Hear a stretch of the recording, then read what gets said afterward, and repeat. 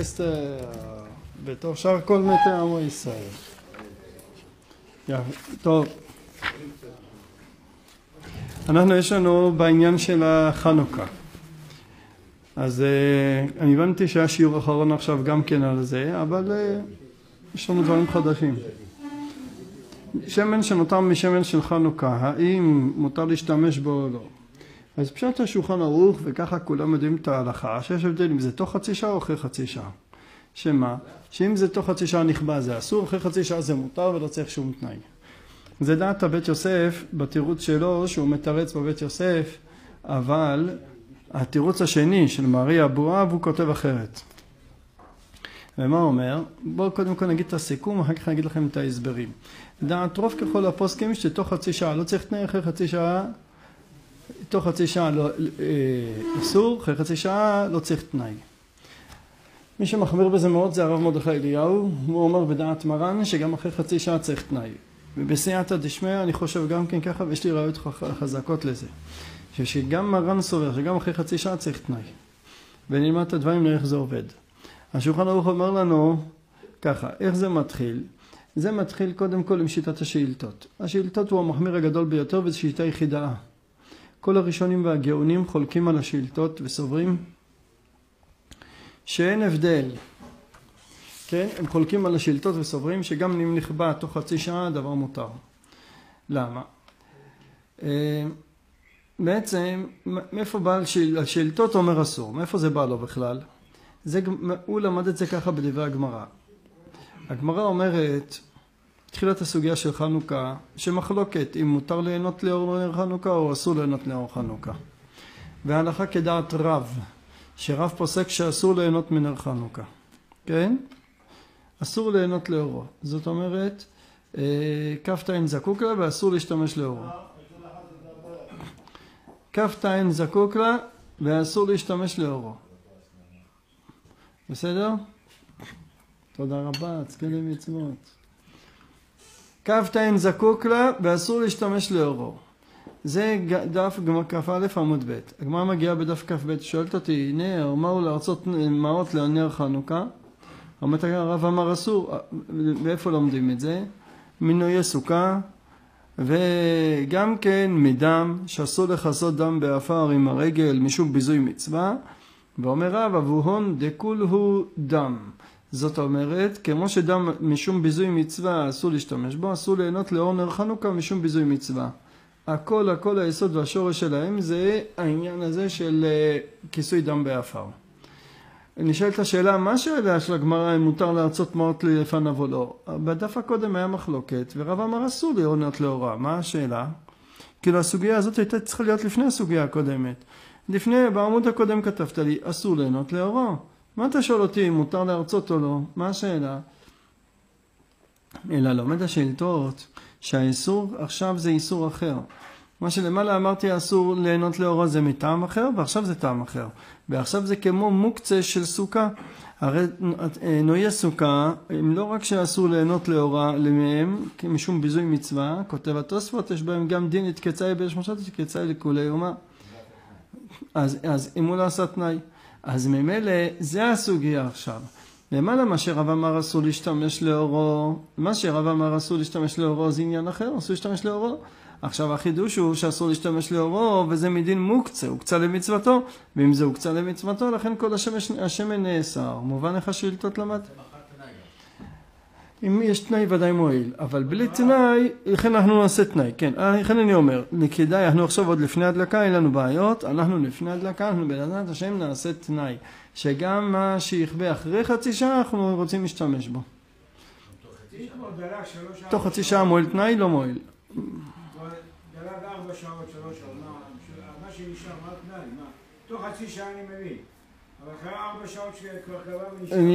אני אלמד עכשיו, רק התחלתי. הפשט ההלכה זה כמו שאתה אומר, אבל אמרתי, הרב מרדכי אליהו מחמיר בדעת מרן וככה נראה ובוא נלמד איך זה עובד, בסדר? בדעת, מה דעת מרן אחרי חצי שעה? אנחנו לומדים את זה עכשיו. אז השאילתות, קודם כל אנחנו מביאים את היסוד והשורש של השאילתות, מאיפה הוא למד את זה. רש"י באמת הרגיש בשאלה הזאתי, ורש"י כותב לי בהתחלת הסוגיה, הרב אומר אסור ליהנות לאורו, למה אסור ליהנות לאורו? כדי שיהיה היכר שזה מצוותו. יש שתי איסורים ליהנות לנר חנוכה. איסור אחד כי זה הוקצה למצוותו וביזוי מצווה. בטעם שני זה כמו שכתוב מי שהדליק נר חנוכה בבית ומוציאו לחוץ לא יצא ידי חובתו. למה? שלא יאמרו לאורו הוא צריך. שלא יאמרו לאורו הוא צריך. אם אתה יושב, אם אתה נהנה לאור נר חנוכה, זה לא נר חנוכה. אנשים יגידו, הוא לאורו הוא צריך. לכן אין בזה את הגדר של נר חנוכה ולכן זה אסור. רש"י בתחילת הסוגיה הבין שזה האיסור, שהאיסור הוא משום שלא יאמרו לאורה הוא צריך, שיהיה היכר שזה מצווה. אחר כך הגמרא אומרת, מנין שזה איסור בעצם משום ביזוי מצווה. זה ההסבר. בינתיים באברמנה הגמרא, בהתחלה הגמרא לא ידעה שזה מטעם ביזוי מצווה. המסקנה של הסוגיה יש שתי איסורים, שיש גם איסור ביזוי מצווה ליהנות מנר חנוכה. ולכן זה מחלוקת ראשונים, ומרן מביא את זה בסתם ויש, האם מותר ליהנות ממצווה? אם אני לוקח ספר ולומד לא נר חנוכה, מותר או אסור? אז מרן מחמיר ויש מתירים. כי אם זה טעם משום ביזוי מצווה, מה אכפת לך? הוא יושב ולומד. מובן? אז, אז זה, זה הנפקא מינה, זה הטעמים. על כל פנים מצאנו מקור לשאילתות, למה הוא למד כך? כל הראשונים חולקים עליו. הרמב"ן, הרשב"א, הר"תב"א, מי לא? כולם חולקים עליו ואומרים שאין הלכה כדברי השאילתות, ולמה? שלא יגרע מעצי סוכה. עצי סוכה, אחרי, אחרי שנגמר סוכות, מותר ליהנות מהם? אתרוג, אחרי שנגמר סוכות, מותר ליהנות ממנו? כן. אז למה שזה יהיה יותר גרוע מעצי סוכה ואתרוג? והגמרא מדמה נר חנוכה אליהם. אז זה לא אמור להיות יותר גרוע מזה. ככה הם חולקים עליו ואומרים.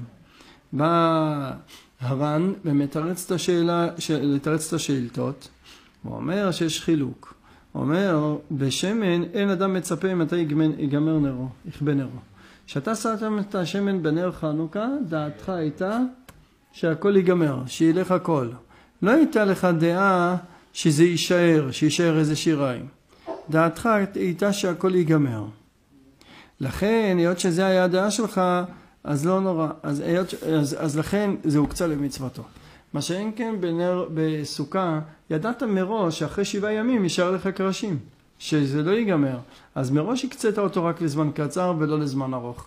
ולכן לכולי עלמא, בעצי סוכה, אחרי סוכות מותר להשתמש. אותו דבר באתרוג. מה שאין כן בנר חנוכה חשבת שישרף לך כל השמן, לא חשבת שישאר לך שמן. היות שלא חשבת שישאר שמן, לכן דעתך לא הייתה בשביל השמן שנותר. מובן החילוק? הר"ן מסביר ככה את השאילתות. שוב, אבל זה לא מצדיק. עדיין, שאילתות זה שיטה יחידה. ובכל זאת מרן פוסק אותה. כל הראשונים לא פוסקים כמו השאילתות, וזה מעניין שמרן החמיר פה. מה ההסבר בזה? למה צריך, מרן צריך להחמיר לי? ברוך אתה אדוני אלוהינו מלך העולם, שהכל נהיה בדברו. לשרוף דווקא. מה ההסבר בזה? הטור והראש. ראש והטור, אני אסביר, כן. ההסבר הוא שמרן מחמיר במה בכך. כמה כסף שווה שמן שנותר מנר חנוכה? מה כבר יכול להיות? אפילו אם קנית בקבוק ב-40 שקל ויקר, נגיד.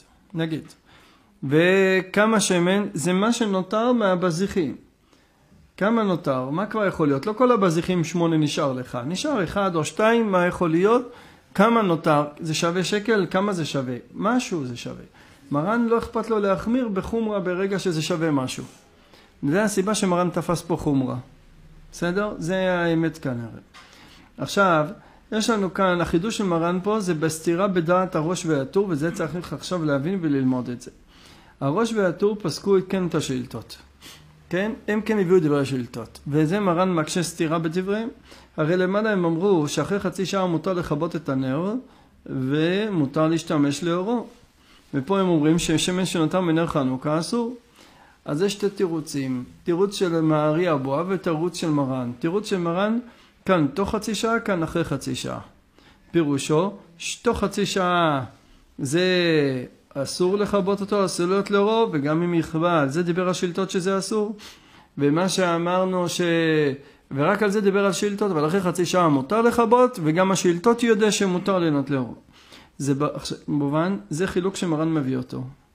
מרן זכה במידה מסוימת לכוון לדברי הרמב"ן. יש לנו ספר חידושי הרמב"ן, הוא היה הרב של כולם, הרשב"א, הריטב"א, הר"ן, כולם תלמידים שלו. הוא היה הרב של כולם. ספר חידושי הרמב"ן לא נמצא ולא נתפס עד לפני מאה שנה, הרב מלצר הוציא אותו עם הערות שלו. עד אז לא היה עם חידושי הרמב"ן. בחידושי הרמב"ן מפורש כתוב את החילוק הזה. והוא אומר, ואפשר, הוא מקשה עליו מנועי סוכה, נכון? הוא אומר, ואפשר לחלק ולומר, כאן תוך חצי שעה, כאן אחרי חצי שעה, בדעת השאילתות. הוא מסכם הרמב"ן ואומר, לא נראה לחלק כן בדעת השאילתות. אז מצד אחד מרן זוכה לכוון לחילוק של הרמב"ן, מצד שני, עלייה וקוץ בה, הוא לא מוכן לשמוע את זה. הרמב"ן בדעת השאילתות, לא רק שהוא חולק על הוא אומר זה לא נכון לחלק חילוקים כאלה. אז אם מרן היה יודע שיש רמב"ן כזה שיצא נגדו, שאומר שאי אפשר לחלק כן בשאילתות, אז הוא לא היה מחלק את החילוק הזה. מה החילוק השני? החילוק השני זה מרי אבואב. ובשולחן ערוך סתם ולא אמר לי בדיוק במה מדובר, כמו איזה תירוץ. מרי אבואב זה התירוץ הראשון שמרן מביא אותו, אומר שתלוי מה הייתה כוונתו שהוא שם להדליק. שאם הוא שם הייתה כוונתו להדליק רק לחצי שעה, אז הקצה את השמן רק לחצי שעה. מה שנותר מחצי שעה לא הייתה כוונתו. אבל אם הוא שם שמן בנר כמו שאנחנו עושים, למה אתה שם שעתיים שלוש? שידלוק שעתיים שלוש, שיהיה פרסומי ניסה. היות שדעתך הייתה שזה ידלוק שעתיים שלוש ולא רק חצי שעה, הוקצה למצוותו, אלא אם כן עשה תנאי. אוקיי, זה, זה תנאי שלך, אין לי בעיה. זה תנאי שלך. אם, אם, אם, אם התירוץ שלך ככה, ומה ש... לא, עכשיו, ומה, מותר לכבות? מה אתה מתרץ לי בזה? הרי סתירה פה בראש והטור, מותר לכבות או אסור? אסור לכבות? לא, אתה לא יכול להגיד את זה, כי הראש והטור אמרו, מותר לכבות אחרי חצי שעה. הבנת? האם עשית תנאי נגמר? הכל בסדר לכולי עלמא. כן, אין בעיה. עשית תנאי עד שיתחבר, אין בעיה. כן, זה מצוין. אבל עכשיו בוא, עכשיו לפי מרי אבואב לומדים ככה. שכל מה שהאיסור ששמת שמן רק לחצי שעה, בכוונתך הייתה רק לחצי שעה, ונשאר שמן יותר מחצי שעה, אז אין כוונתך למצווה, אתה רצית לך שזה ידלוק חצי שעה, מצדך אחרי חצי שעה לכבות את זה, וכדומה, ולכן אתה אומר, אחרי חצי שעה זה לא תפס את המצווה שלו. אבל אם כוונתו מראש, הוא שם שמן שעתיים שלוש, שזה יהיה שעתיים שלוש, הכל נאסר, זה נפקא מינה לנו. אנחנו ככה אנחנו עושים. אנחנו בדרך כלל שמים שמן שעתיים שלוש, נכון? אז לפי מרי אבואב זה אסור. בוא נלמד עכשיו שולחן ערוך איך לומד. כ"ט זקוק לה זה לא. לפי רוב הראשונים כן, לפי השאילתות לא. זה המחלוקות פה. איזה יום? שני? אה? ידליק כאן? בטח, זה המצווה. זה אין בעיה. מה אכפת לך? אנחנו לומדים. בשביל החצי לירה שלך, אנחנו לומדים. זה הכל בסדר. הוא רוצה להשתמש בשושנים. כן, נו, זה... אנחנו לומדים עכשיו. רגע, רגע, בוא נלמד. זה... כן. המצווה לעשות זה מה שאתה אומר, להדליק אותו סתם. להדליק אותו ולשרוף אותו. כתוב, כתוב מפורש שזה כמו גדר של קודשים, של פסולה מוקדשים שצריך לשרוף אותו. ככה מביא השדה חמד. אה, אני חושב מכנף רעננה משמו. לכן לא כתוב נקבר או משהו, אלא שורפים אותו, עושה לו מדורה, שורפו. מה זה, איך יכול להיות? אתה יכול להדליק אותו בטורנר. מה? כן, מצוין. היום עושים גם כסף.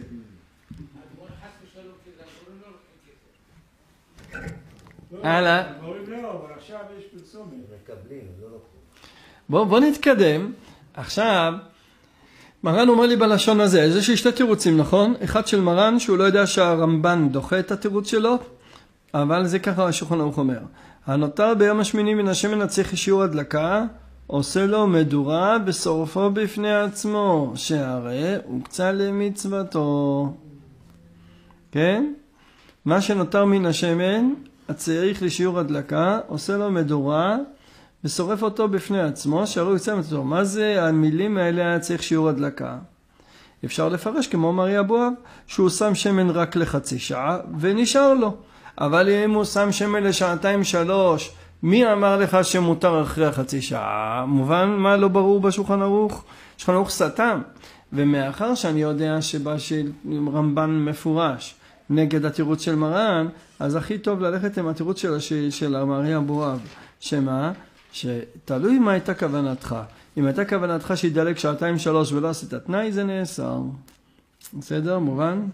ומי לומד ככה? מי לומד ככה? עכשיו המשנה ברורה. מה?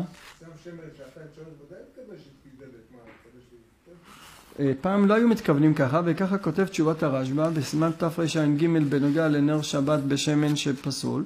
אומר שדרכם היה, אדם, גם הוא מספר על עצמו, שמנהגם להדליק נר חנוכה רק לחצי שעה. הוא אומר, ואי אפשר לצמצם.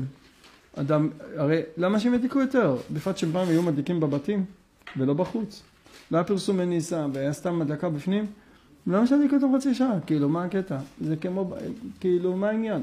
הוא אומר, אי אפשר לצמצם, אז יוצא לנו קצת יותר מחצי שעה. אבל אם היו רוצים להידלק, חצי שעה הם לא היו מחפשים יותר. עכשיו בואו נראה משנה ברורה איך הוא למד. מה? התנאי זה הכל בסדר. לא, רגע, רגע, אני אגיע אליך. אז זה בסדר. אז צריך להוסיף ל-60. כן. אבל אנחנו אומרים שגם אם לא עשית תנאי, גם יותר מחצי שעה גם יש בעיה. אתה מבין? את הבעיה. אם זה ככה, זה לא מעורבב. רגע, רגע, בואו בוא תנו לי להתקדם לאט לאט. אני עכשיו קורא משנה ברורה. משנה ברורה כותב בסימן תרע"ב שהשיעור הדלקה הוא עד זמן כמו חצי שעה והילקח צריך לתת בו שמן כזה השיעור. אומר המשנה ברורה, אבל אם נותן בה שמן הרבה שידליק יותר, אין בו שום מצווה. מילה חריפה. בל תשחית. נכון. כן, הוא אומר לי ככה. אני אומר מה כתוב, תסביר לי מה הוא אומר. הוא אומר, רגע, רגע, חבר'ה, תפסו ראש. בואו נראה, המשנה ברורה לומד בדעת מרן, בסעיף קטן ו', אבל נותן בשמן הרבה שידלק יותר, אין בה שום מצווה, מילים חריפות ביותר. בל תשחית. סעיף קטן אחרי זה הוא כותב, סעיף קטן ז', מכל מקום הסכימו כמה אחרונים שלכתחילה טוב להתנות שגם אחרי חצי שעה שאינו מקצה את השמן שיש הסופרים, פוסקים הסוברים שאם נתן שמן בסתם הוקצה למצוותו הכל כמו מרי אבואב. אז בסעיף קטן ו' הוא חושש, ז' הוא חושש מרי אבואב, אבל בסעיף קטן ו' לא. זאת אומרת ככה, הוא לומד בדעת מרן השולחן ערוך, ש... אה, אז לפי מרן זה עובד ככה. אתה לא יכול לתפוס את החבל בשתי ראשים. להגיד לי זה גם נר חנוכה וזה גם מותר. מבחינת מרן, אחרי חצי שעה זה אפס. אחרי חצי שעה זה כלום, זה בל תשחית ואין בזה שום מצווה. מובן עכשיו, אחרי חצי שעה לא צריך תנאי והכל מותר.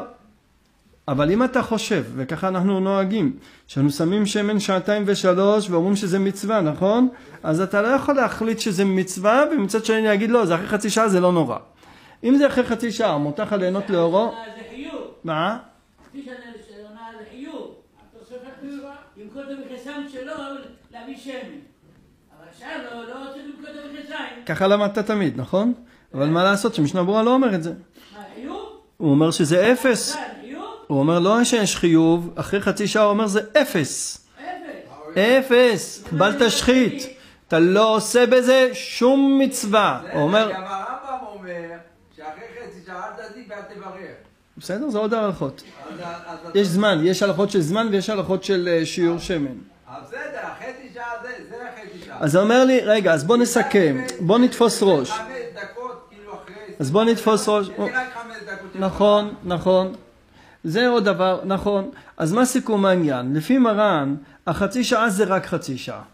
אדוני, אחרי חצי שעה זה בל תשחית, אתה לא עושה שום מצווה, וחבל לך על הזמן ועל החיים. אז מובן היטב למה אחרי חצי שעה הכל מותר. ולא צריך תנאי. כי זה באמת סתם ואתה לא עושה בזה שום מצווה. לעומת זה מארי אבואב לומד לא, שעתיים שלוש זה גם מצווה, ויש בזה פרסומי ניסה, וככה אנחנו עושים. בשביל מה אתה שם שמן שעתיים שלוש? בשביל מה, משעמם לך? מצווה. אם אתה אומר זה מצווה, אז למה זה לא נאסר? אומר, אתה לא יכול לתפוס את החבל בשתי ראשים ולהחליט, זה מצווה וזה לא נאסר. זה לא הולך ככה. אה?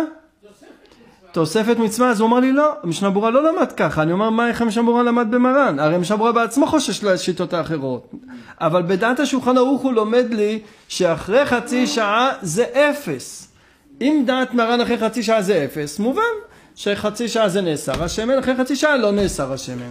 אבל אם אתה אוחז, וככה אנחנו נוהגים, שאחרי חצי שעה זה גם מצווה וזה הידור מצווה, אז זה נאסר. אתה לא יכול להחליט שזה מצווה וזה לא יאסר. אלא אם כן עשית תנאי, זה עניין אחר. אבל אם אתה החלטת שזה מצווה, זה מצווה. עד היום אנחנו מבינים אחרת. מבינים שזה גם אחרי חצי שעה זה מצווה, ובכל זאת זה אפשר ליהנות ממנו, נכון? אבל המשנה ברורה איך שלומד בשולחן ערוך הוא לומד אחרת. הוא לומד שאחרי חצי שעה זה שום מצווה, ולכן אחרי חצי שעה זה מותר. לפי זה אנחנו שאנחנו נוהגים לשים שמן שעתיים שלוש, ואנחנו אומרים שזה מצווה, אנחנו אוחזים שזה כן מצווה, אז ממילא זה, זה יאסר כמו דת מרי אבואב. היא גופה המחלוקת בין מרי אבואב למרן איך להבין את הדברים. לפי מרן אחרי חצי שעה זה שום מצווה אין בזה. ולכן זה לא נאסר.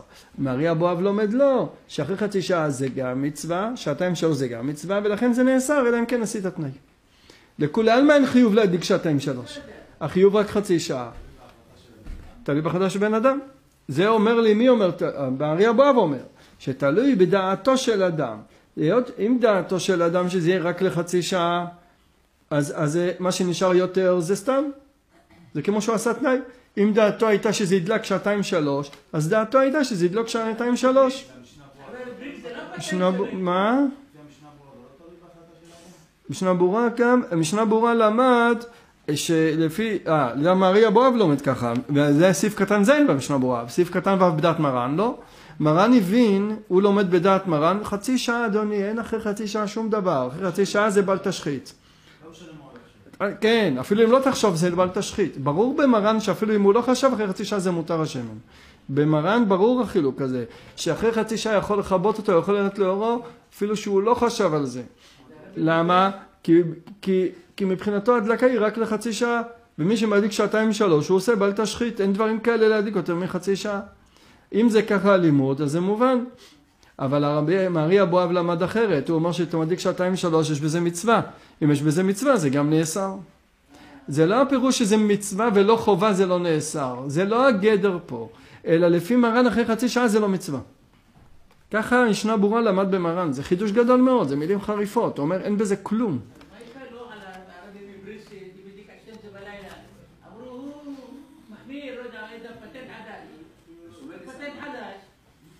אני אגיד לך את האמת.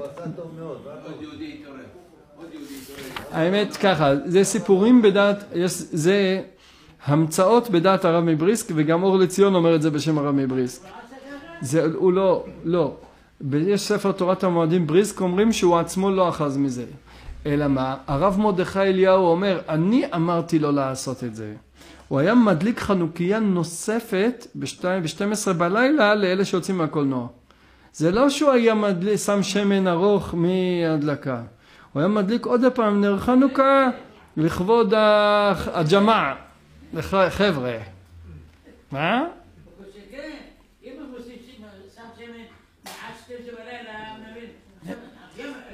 מיוחדת סתם, כמו הדלקה, זה כמו, כן, מה, כמו חב"ד, מה אתה רוצה? כמו חב"ד, מה יש? כאילו, לזכות הרבים, הם לא הדליקו נרות חנוכה ולא ראו את זה בסרט. אז uh, הוא מזכה אותם. כן. מה? כן, מה הבעיה? הרב מרדכי אליהו אומר, אני אמרתי לו, הוא אמר ככה, אני יעצתי לרב מבריסקה לעשות את זה והוא שמע לי.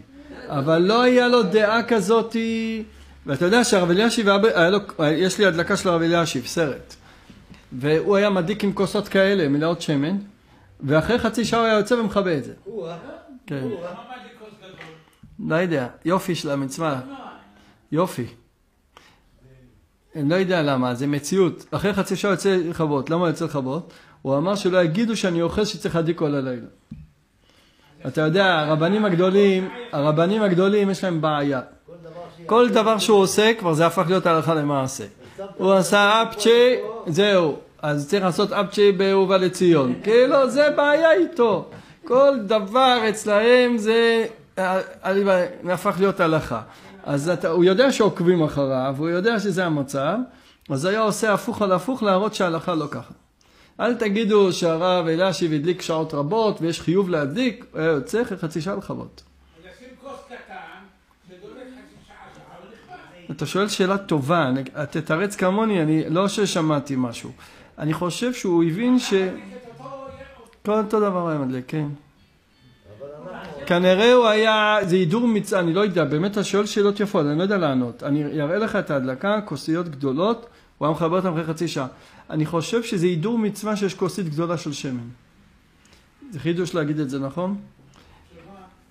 זה יפה, זה עם מצווה. זה נוי מצווה, זה, אבל הרב... זה יפה. נעזוב את הרב רגע. שנייה. מעניין, נכון? אולי לא. מה, מה? אם בן אדם רוצה להשאיר דלוק את המזוזה, אבא אמר לנו, תשאירו מאוחר. אני אמרתי שכן, אבל אני מה אמרתי? אמרנו שלפי מרן זה ככה, שאחרי חצי שעה אין בו שום מצווה, אבל מרי אבואב חולק על זה. ואמרנו שמרן לא ראה את דברי הרמב"ן, שהרמב"ן מפורש כותב נגד זה, והוא אומר זה לא נכון לבוא ולומר לחלק בין תוך חצי שעה כמו מרן. הוא חולק על זה, ומרן אם היה רואה את זה היה חוזר בו, ומסכים עם החילוק של מרי אבואב. חולק על זה, אבל זה לא להלכה. הרמב"ן, הרמב"ן, הרמב"ן מרן לא ראה אותו. אם מרן היה רואה את הרמב"ן, שהחילוק הזה שהוא מחלק, בד... חוזר בו? היה חוזר בו. יש לך ספק? הרמב"ן הוא הרב של כולם. הוא הרב... והוא אומר את זה. מה שמרן, מה שמרן מדעתו חושב לחלק בדעת השאילתות, כבר הרמב"ן חשב את זה, והוא אומר, ואין נראה לחלק כן, בדעת השאילתות. אז אם מרן היה יודע שהרמב"ן הביא את הסברה הזאת ודחה אותה, אז הוא היה מקבל את הסברה של מרי אבואב. הרי יש פה איזה חילוק בדעת הטור והראש, יש פה איזה חילוק. שאלה איזה חילוק? זה חילוק עדין. לפי מרי אבואב תלוי הכל בכוונה של הבן אדם. אם כוונתי הייתה לשתיים שלוש אסור, עליו הכי מותר. תנאי מראש, זה כמו תנאי מראש, נכון? תלוי בכוונתי. אבל לפי מרן לא, אפילו לא הייתה כוונתך, אחרי חצי שעה מותר. הרמב"ן אומר לי אחרת מזה.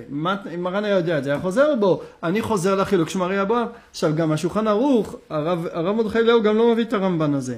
הרב מרדכי אליהו הולך על הלשון של השולחן ערוך. אומר לי, האם הלשון בשולחן ערוך הכריע לי כמו הסבר של המארי אבואב או כמו הסבר הבית יוסף, שתי התירוצים? מרן כתב לי, הנותר מן השמן צריך לי שיעור הדלקה. מה זה הנותר מן השמן צריך שיעור הדלקה? הוא שם, מה זה הנותר, מה זה, הוא שם יותר בכוונה או שהוא שם רק חצי שעה ונשאר לו? מה מדובר? הוא לא, לא, לא יודע, לא כתוב פה.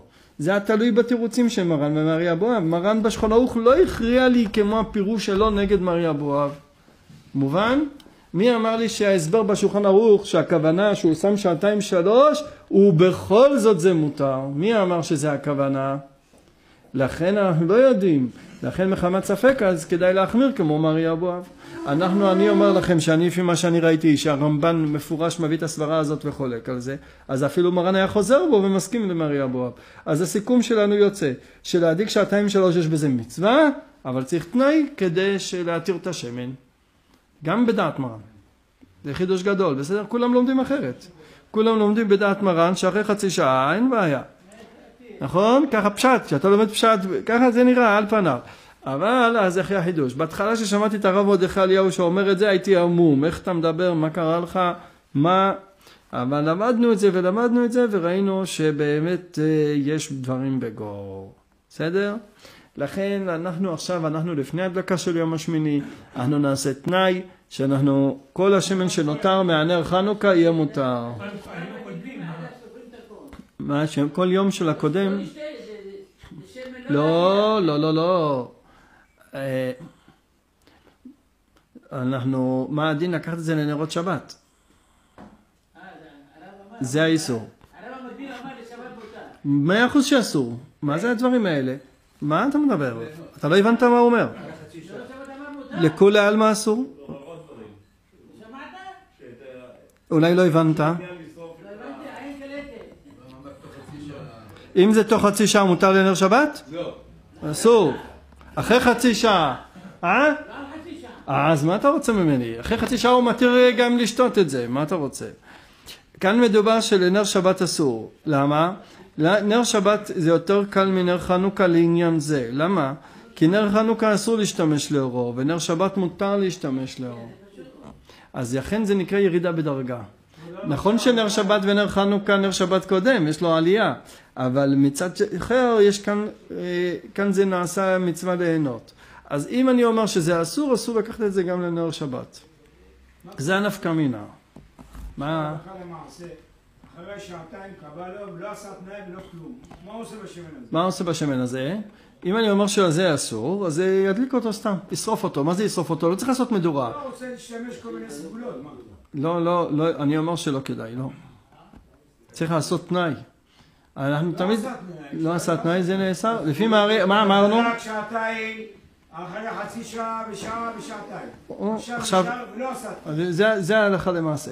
לפי מרי אבואב זה אסור, לפי התירוץ של מרן זה מותר. ואנחנו אומרים, אם מרן היה יודע את הרמב"ן שחולק עליו, לא היה מקבל את הדברים, וגם שולחן ערוך סתם ולא כתב לי דברים ברורים, לכן יש להחמיר בזה. בסדר, זה חידוש, אה? לא ידעת אף פעם הלכה ככה. לעולם אל ימנע אדם עצמו בבית המדרש אפילו שעה אחת. רואה בשביל מה באת? זה חידוש גדול, אני אומר לך. כן, פעם ראשונה שאתה שומע את זה, יופי. לא. כן, לא, זה... זה אבא שלי היה אומר. לא לא. טוב, אבא עכשיו יש לו חומרות וכולות, שמע. אבא אומר, אם עשה תנאי, איבד את הסגולה. אומר, עשית תנאי? עוד אומר, כל זה, אם זה נכבה גם תוך חצי שעה, ככה... רגע. האם תוך חצי שעה מועיל תנאי? חזון עובדיה אומר מותר. ומאיפה הראיה שלו? מרבי חיים פלאצ'י מספר לב חיים. בספר לב חיים רבי חיים פלאצ'י אומר שמועיל תנאי תוך חצי שעה. הוא אומר מה הדוגמה, מה כתוב שם? לא כתוב ככה, כתוב ככה. מה הדין שמן שנוטף מן הנר, נכון? כתוב בבמה מדליקים? הוא שם כוס ריקה כדי ששמן שנוטפת מהנר, שמתיז, שיפול שם.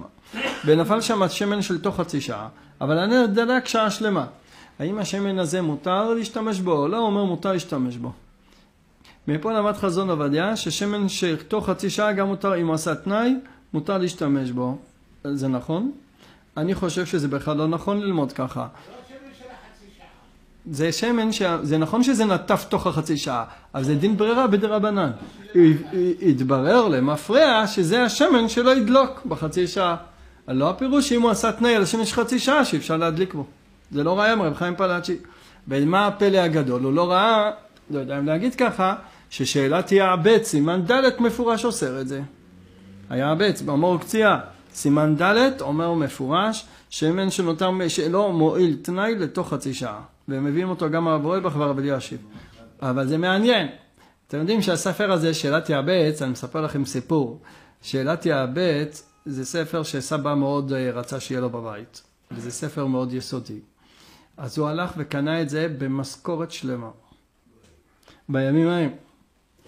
ולא היה לחם לאכול בבית. היו אוכלים לחם עם זעתר כל הזמן, לא היה מה לאכול. ובמשכורת שלמה הוא הלך וקנה ספר. אבא שלי אמר שהוא הכניס את הספר לבית בגניבה שסבתא לא תרגיש. שהיא לא תדע שהוא הלך קנה ספר עם המשכורת. כן. זה היה, בטח היה יקר. פעם היה ספרים, כן, יש ספרים נדירים ויקרים.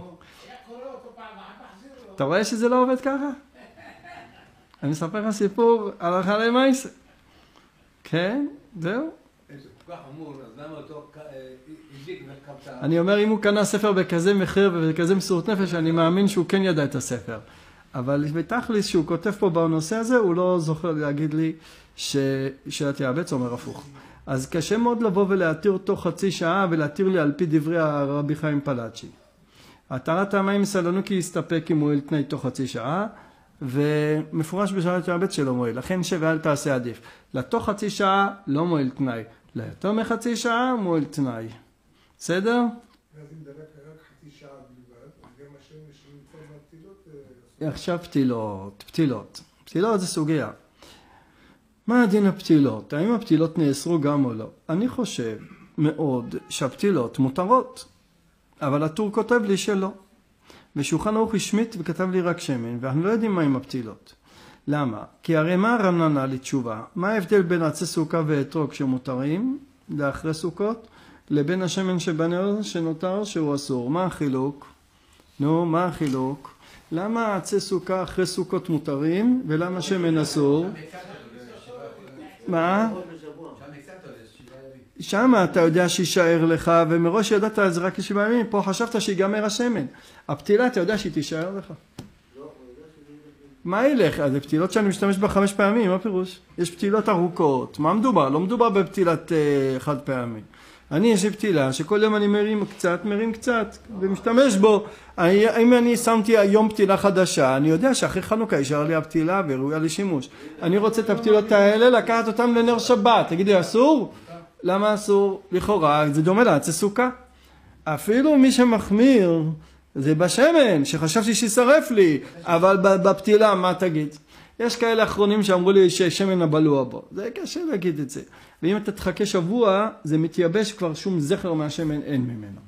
פתילה שהיה בשמן וייבשתי אותה כמו עץ עכשיו, אין, היא לא תדלק לך ולא כלום. זה לא שיש זכר לשמן שהיה שם. קיצור, החומרות שנוהגים להחמיר גם לשרוף את הפתילות, לא להשתמש בהן. אבל אני חושב שלכאורה לא מובן למה. אם זה החילוק של הר"ן, שדמיון לעצי סוכה, פתילות צריכות להיות מותרות. בסדר? מצוין? מצוין? מובן? איך שאומרים, הוא ידליק אותו, ידליק אותו כמו נר, ידליק אותו סתם. ידליק אותו כמו נר בבית. לא אסור לעשות הבדלה, לא. כן. הרב מוצפי אומר שזה עושה טהרה בבית, להדליק את זה סתם בבית, כאילו. זה קדושה, זה, זה, אפילו שאתה לא נהנה ממנו, זה מתאר את האוויר. כן. עכשיו אנחנו אומרים למעשה שהסגולה הזאת של חנוכה, שמנותר קנקנים מ-12 שנים, זה הולך על כל הבקבוק. כל הבקבוק שמזקת ממנו, זה נקרא שירא מצווה מהקים את הפורענות. מי כותב את זה? זה לא צריך להיאסר כדי שיהיה בזה ברכה. מי שכותב את זה מפורש והיה נוהג ככה, זה רבי אלעזר ממונקאץ' בנימוקי אורח חיים. הוא היה נוהג ככה, והיה מכין אה, 36 בקבוקים.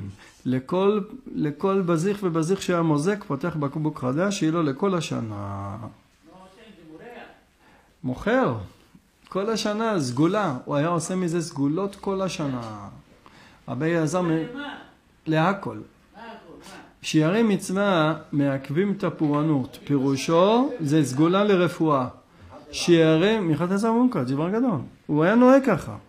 הוא אומר ככה מפורש, וככה מובא בספר רבי שלמה מזוויל, גם ככה הוא אומר גם כן, וככה רב מרדכי אליהו אמר בעניין אחר, וככה הלכה למעשה.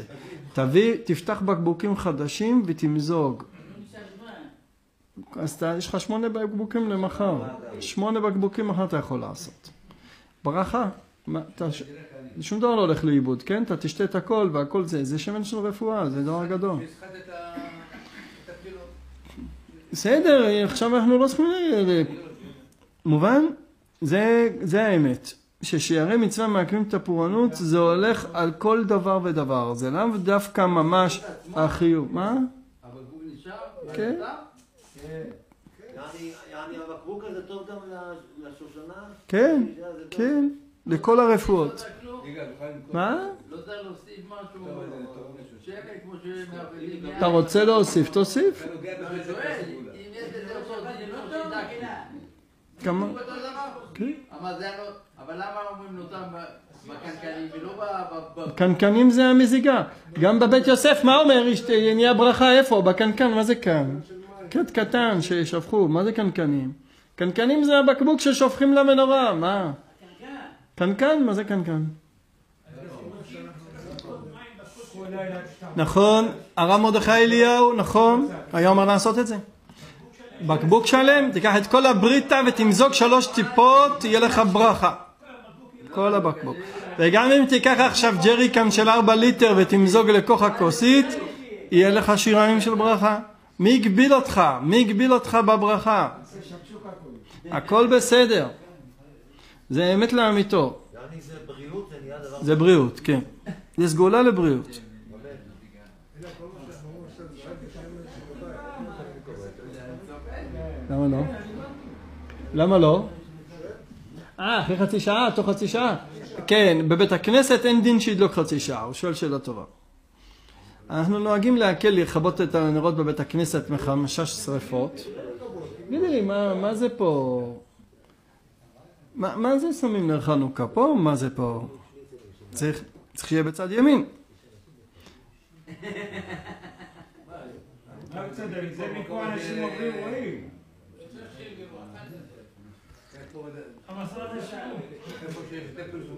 כן, ומעניין. אוקיי. ההלכה בבית הכנסת שצריך להדליק בצד ימין של ההיכל. מי כותב את זה? מהר"ם מרוטנבורג. למרות שמהר"ם מרוטנבורג בתשובות בפראג הוא כותב ככה מפורש. אני חושב סימן ע"ו. בית הכנסת חייב להיות בצד ימין. כשאתה עומד מול ההיכל, צד ימין. זה דרום. כל אחד עם שלו. בבית המקדש זה השמאל. כל אחד זה משהו אחר. כשאני עמד...